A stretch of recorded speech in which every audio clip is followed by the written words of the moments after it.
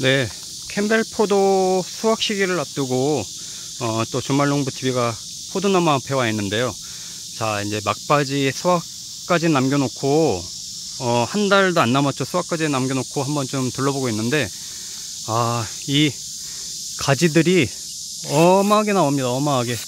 이 가지들을 그래서 지금 보이는 대로 저도 이제 지금 잘라주고 있는데요.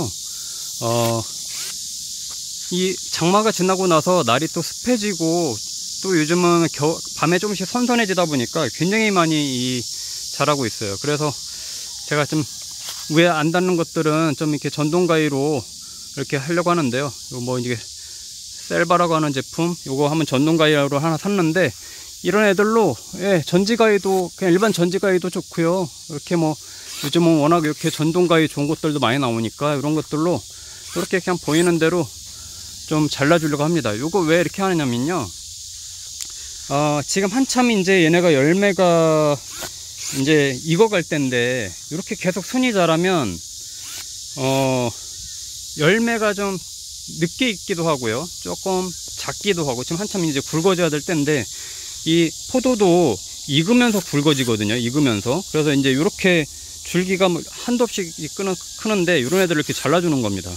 이 격가지예요. 이게 주가지가 아니고 격가지들이 계속 나와요. 그리고 이렇게 보이시는 것처럼 포도송이가 또 나옵니다. 격가지에서. 이런 애들 잘라주는 겁니다. 이렇게. 예.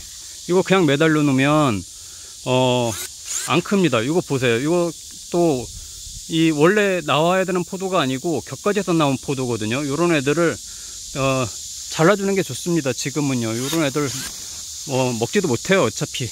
예. 이렇게 이제 잘라주는 겁니다. 이게, 와, 여기 보세요.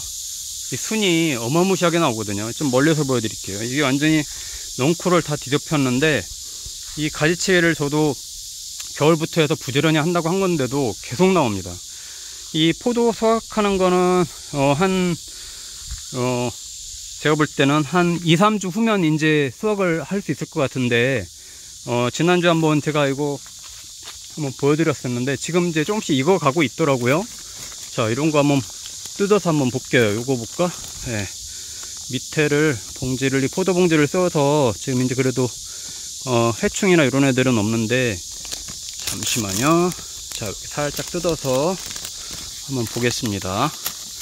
자 색깔이 어떻게 변화가고 있나? 아 이거 지금 이거 가네요.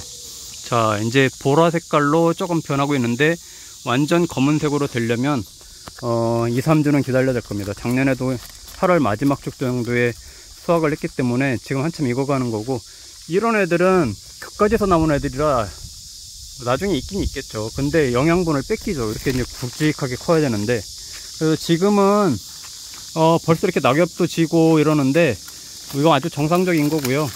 어 이제 수확철이 되면 조금씩 이제 이 노란색 잎으로 이제 좀 변해 갑니다.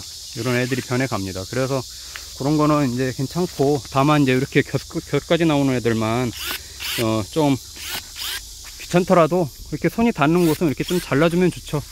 저도 이게 지난주에 어느 정도 손을 본 건데도요 또 일주일 사이에 이렇게 큰 겁니다 이런 애들이. 아 이거 무지무지합니다 무지무지해. 이렇게 잘라줘도 또 자기네끼리 엉켜 가지고.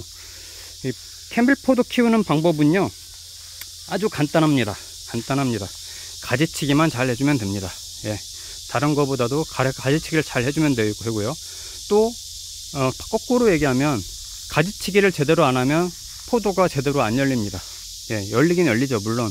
근데 굵기나 당도가 많이 떨어져요. 이거 보세요. 새로 격가지가 나오는데 여기서 또 이렇게 포도꽃이 지금이 어, 이제 8월달로 넘어가는데 포도꽃이 또 펴요.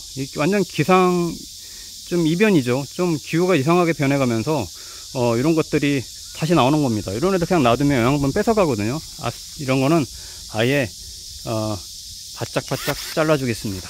여기서도 잘라주고 이게 원래 여기서 이제 어, 잘라준 건데 이 보세요. 여기 지금 여기 매달려 가지고 얘네가 지금 크고 있는 거거든요. 여기서 이렇게 나온 애들인데 계속 겹순가지가 또 나온 거예요. 제가 새송가지는 한 8마디에서 9마디까지만 키우고 어, 순직기를 해주라고 한 거잖아요. 여기서 이제 순직기를 해준 거거든요. 여기서. 근데 금방 보신 것처럼 이런 벼순가지들이 계속해서 나온 겁니다. 이 중간중간에도 계속 순치기를 해줘서 여기는 없는데 요런 애들이 계속 나오면서 위에처럼 이렇게 우후죽순으로 계속 나오고 있는 거죠. 이런 거에 어, 지금은 이제 집중해서 좀 관리해 주시는 게 좋고 어, 포도 수확 시기까지는 지금부터는 어, 농약을 하지 않기를 권장드립니다. 이제 따먹어야 되기 때문에요. 지금은 크게 이제 뭐 이렇게 병충 해 방제를 위해서 뭘 할 건 없는 것 같고요. 어, 물론 포도봉지를 세웠지만 그래도 농약을 안 하고 이제 수확 시기까지는 놔두는 게 좋습니다. 그래서 이렇게 키우고 자 이제 8월 말 정도에 이제 수확을 하고 나면 어, 위에는 잎들도 이제 어, 낙엽이 지기 시작할 겁니다. 역시 금방 이제 이 처서가 오고 그러면요. 이 잎들도 금방금방 이제 어, 단풍이 들고 떨어지고 하거든요.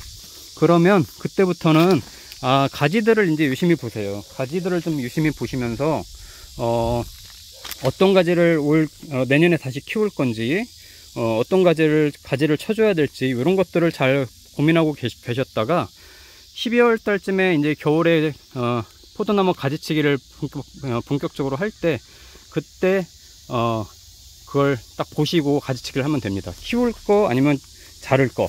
저 같은 경우는 예를 들어서 요 가지가 이렇게 있습니다만은 이 여기서 벌레가 먹어 가지고 가지가 잘라졌어요. 잘랐죠. 봄에 잘랐어요. 그래서 이제 사실 이제 새순가지를 이렇게 받아서 키워야 되는데 보니까 여기에는 순이 잘 커가거든요. 요, 요, 요게.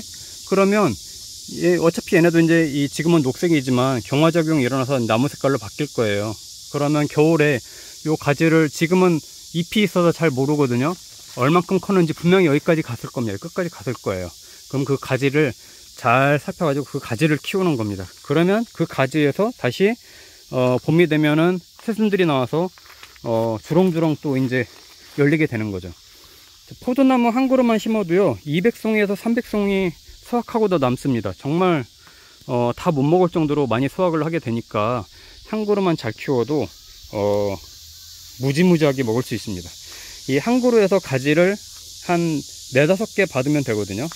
커 올라가는 그 주가지를 하나, 둘, 셋, 넷, 다섯 개. 저는 다섯 개 이렇게 받고 있는데 이렇게만 해도 여기를 다 뒤덮, 뒤덮일 정도로 울타리를 다 넝쿨을 뒤덮일 정도로 이렇게 크고 있는 겁니다. 아, 이 철제가 봐, 보세요. 휘어졌어요. 이렇게 아주 이 무게가 어, 얘네도 무시 무시 못할 정도로 무겁습니다. 이제 이, 특히 어, 장마철에 비 오고 그러면요 그 빗물 무게 때문에도 엄청나거든요 그래서 이렇게 또 밑에 지주대로 이렇게 막 받쳐주고 보세요 지주대로도 받쳐주고 태풍이 안 넘어가게 막 하고 이렇게 잡아준 건데 이런 것들도 넝쿨을 위에다가 하면은 밑에서는 이렇게 쉴 수 있는 공간도 되고 어, 바람도 잘 통하고 하기 때문에 저는 위로 키우거든요. 공간이 그래도 많이 허락이 되기 때문에 어, 옆으로만 키우는 것보다는 과수원에서 옆으로 키우잖아요. 이 관리하기가 편해야 되니까 손이 닿는 곳에 있는 게 좋으니까 옆으로 키워서 새순가지만 이렇게 이제 비가림 막 위쪽으로 키우는데 어 저는 공간이 좀 있으니까 이렇게 넝쿨로 해서 한 2m 정도 예, 이렇게 철제를 박아서 위에 높이가 한 2m 정도 높이로만 해도 이렇게 작업하기가 편합니다. 그냥 다니면서 이렇게 이제 봉지를 씌우든 겨울에 가지치기를 하든 아주 편하게 할 수 있으니까 그렇게 보시면서 하면 되고요. 어, 아마도 뭐 이제 태풍이 올지 안 올지 모르겠습니다. 아직까지 소식이 없지만 이 상태라고 한다면은 올해 캠벨포도 가격은 비싸진 않을 것 같아요. 뭐 저야 뭐 그냥 이렇게 제가 심어서 먹으니까 어 뭐 큰 상관은 없겠습니다만은 올해 생각보다 어 과일 키우는 거에는 기후가 나쁘지 않았어요. 사과도 그렇고 포도도 그렇고 이 샤인머스켓도 그렇고요. 굉장히 좀 작황이 오래 좋을 것 같아요.